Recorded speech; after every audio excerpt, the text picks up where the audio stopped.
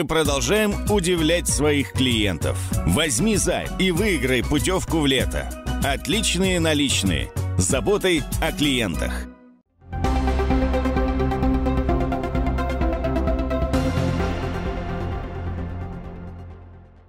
Туве ко Дню России прошла торжественная церемония вручения государственных наград. В этот день были вручены государственные награды за достижения в области образования, здравоохранения, искусства и культуры. Среди получивших госнаграды – скульптор Байза Андар, соавтор и автор множества памятников и скульптурных работ, в числе которых «Непокоренный», «Кадарчи», бюсты тувинских добровольцев, героев Советского Союза, памятник Мангушу Буяну Бадыргы. Он был удостоен почетного звания народный мастер Республики Тыва. Спасибо большое правительству и Министерству культуры за оценку моей деятельности. Будем стараться дальше. С праздником! Звание «Заслуженный работник здравоохранения Республики Тыва» удостоен врач-анестезиолог-реаниматолог первой республиканской больницы Петр Шадрин. Из 37 лет работы в здравоохранении 27 лет отданы анестезиологии. Также аналогичное звание было присвоено врачу-терапевту высшей категории, кандидату медицинских наук, заместителю директора территориального фонда ОМС Республики Жанне Мангуш. Это заслуга не только моя, это заслуга нашего коллектива фонда, который реализует государственную политику в сфере обязательного медицинского страхования на территории Республики Тыва. Еще раз спасибо, с праздником, с Днем России! Светлана Шагдыр, учитель родного языка и литературы средней образовательной школы номер 3 города Чедана и отличник народного просвещения, удостоена звания «Заслуженный работник образования Республики Тыва». Большое, большое спасибо за такую высокую оценку э, правительству Республики Тыва в лице Шалбан Валерьевича за мой скромный труд на благо малой Родины – Безусловно, это не только моя награда, это награда тех, кто всегда идет со мной по пути. Пользуясь случаем, хочу сказать, поздравить всех сидящих в этом зале с Днем России и пожелать дальнейшего процветания, роста, благополучия, а самое главное, крепкого здоровья. С праздником вас! Также звание «Заслуженный шахтер Российской Федерации» присвоено председателю артели старателей «Айна» Олегу Дудко. Кроме того, на торжественной церемонии награждения были вручены почетные грамоты правительства Тувы благодарности главы республики.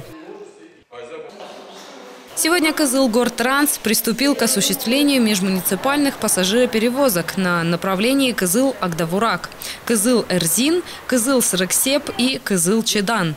По данным маршрутам будут ездить новые автобусы марки ПАС, которые прибыли в Туву 4 июня.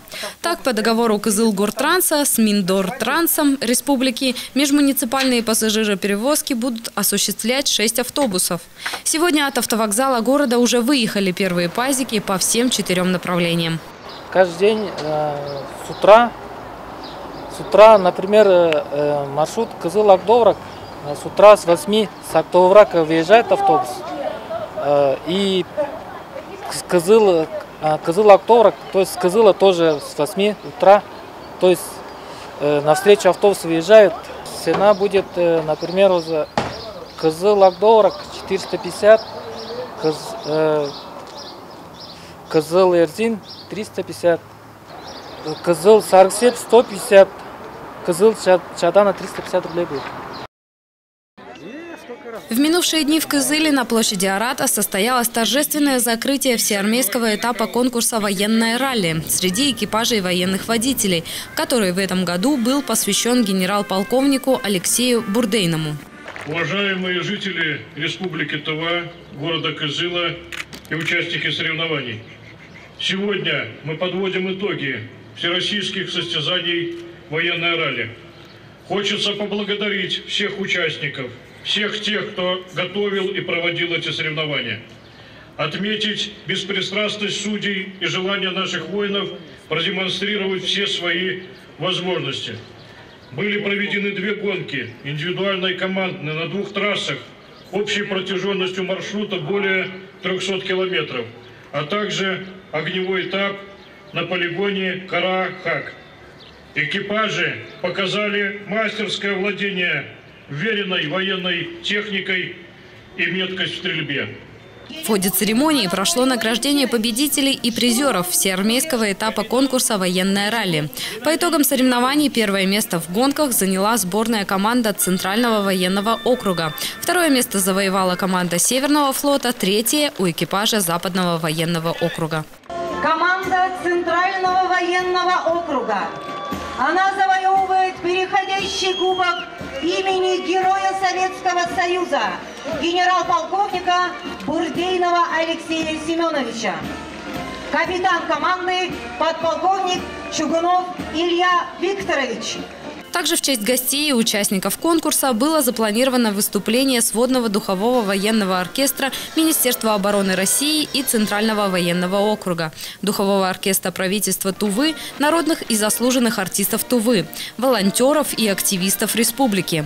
Отметим, что сборная, составленная из финалистов всеармейского этапа, представит Россию на международном конкурсе «Военное ралли-2018» в Кызыле с 28 июля по 4 августа.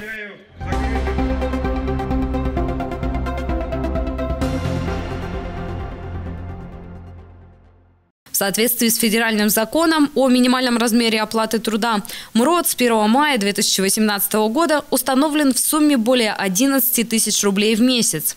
С учетом северных и районных коэффициентов в республике МРОД составляет более 21 тысячи рублей. Повышение касается тех работников, у кого заработная плата меньше минимального размера. Это в основном обслуживающий и технический персонал учреждений бюджетной сферы и категории работников. Отмечается, что в текущем году средняя заработная плата зарплата по республике установлена около 29 тысяч рублей. У врачей и научных сотрудников заработная плата должна составлять не менее 57 тысяч рублей. У среднего младшего персонала, педагогов, социальных работников не менее 28 тысяч рублей. И о курсах валют. Доллар стоит 62 рубля 34 копейки, евро 73 рубля 36 копеек.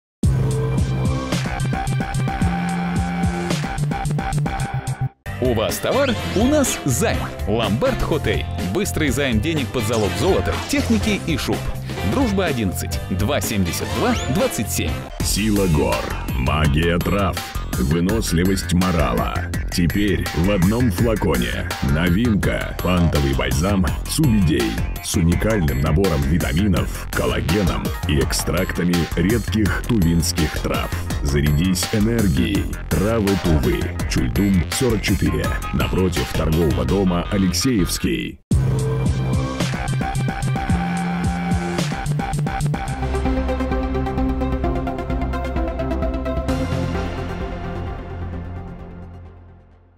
Власти Тувы намерены создать в республике систему медицинского сопровождения спортсменов, входящих в сборные команды России.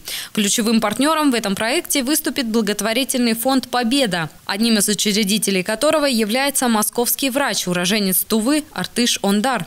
Возглавить проект фонду «Победа» предложил глава республики. Отмечается, что благотворительный фонд «Победа» был создан в августе 2017 года по инициативе братьев Андар, Артыша и Айдыса. Молодых медиков, специализирующихся на травматологии и ортопедии. Организация зарегистрирована в Москве и позиционируется как фонд медицинской и социальной помощи спортсменам. Примечательно, что полем в своей деятельности фонд «Победа» с первых шагов выбрал Туву. Он же помог нескольким тувинским спортсменам, выступающим на международном уровне, вылечиться и восстановиться после травм. Предложение главы Тувы открывает для фонда еще больше возможностей, поскольку предполагает постоянную работу со спортсменами, а не только по факту травмирования. Тем более, что количество тувинских спортсменов, показывающих высшие достижения и выступающих за национальные сборные, с каждым годом растет. В настоящее время в состав команд, представляющих Россию на международных соревнованиях, входит 64 атлета из Тувы.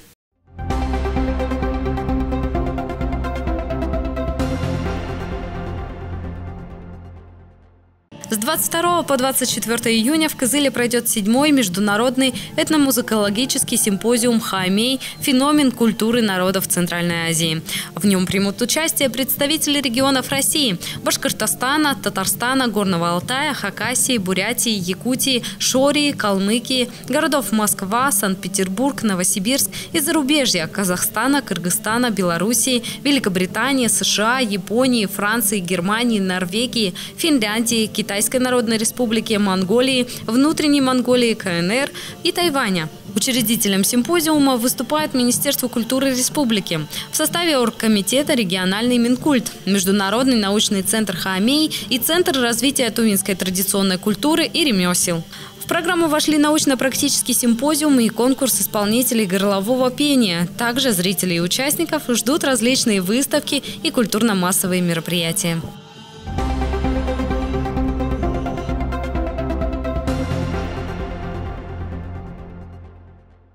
На прошлой неделе казалчане и гости столицы каждый день отправлялись на поиски бесплатного обеда от Гранд-холла столичной. И, как всегда, чтобы найти порцию здорового лакомства, нужно разгадать загадку и приехать на зашифрованное место первым. Узнаем, кто стал последним победителем квеста со столичным и получил большой обед с правильным здоровым питанием.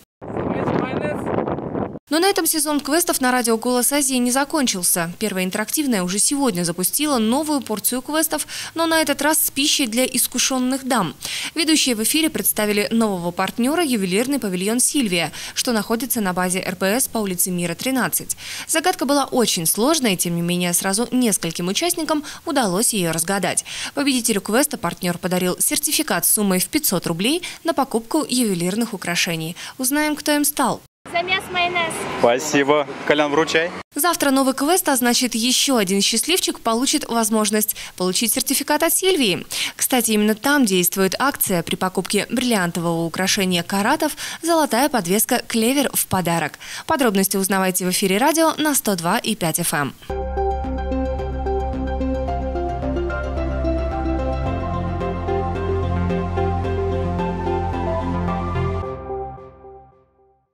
Спонсор прогноза погоды – «Отличные наличные». Компания «Отличные наличные» рада видеть вас в любом из своих офисов в более чем 80 городах России. От Камчатки до Калининграда. Компания «Отличные наличные». Получайте займы на займ-карту в любой момент просто по звонку.